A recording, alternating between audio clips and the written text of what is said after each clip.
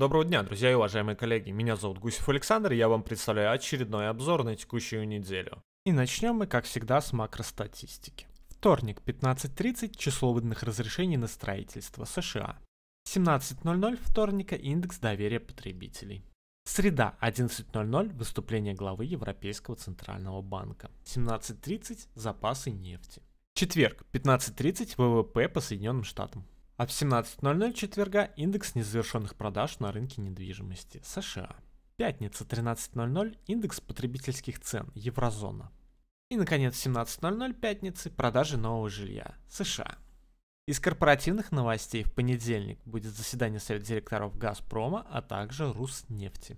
А в пятницу 29 марта Россеть опубликует финансовую отчетность по МСФО за 2018 год. А теперь переходим к графикам. Еще на прошлой неделе мы говорили об уровне на Сургуте обычки 24-150, но мы так к нему не подошли, поэтому на этой неделе я буду ожидать его опять в пробой.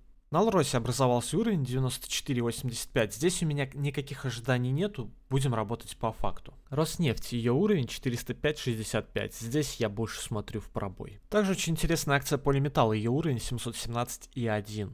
Не факт, что мы подойдем к нему на этой неделе, но если будем подходить, то больше я здесь смотрю в пробой. А в окончании ролика я попрошу вас обратить внимание на расписание мероприятий на Алап ТВ на текущую неделю. Заходите на мастер-классы, задавайте свои вопросы, не опаздывайте на групповые курсы. А я желаю вам зеленок и, как всегда, рекордов. С вами был Гусев Александр. Увидимся на следующей неделе. Всем пока.